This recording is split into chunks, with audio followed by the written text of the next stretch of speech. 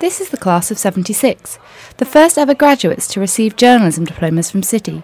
Today, 9 out of 13 of them have come together at a boozy lunch to share their favourite City memories with us.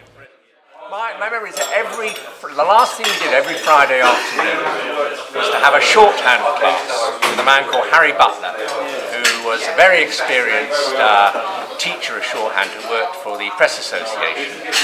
And after he'd taught us how to uh, do shorthand, we then all joined him in the pub nearby called the Empress of Russia, which I think has probably long disappeared.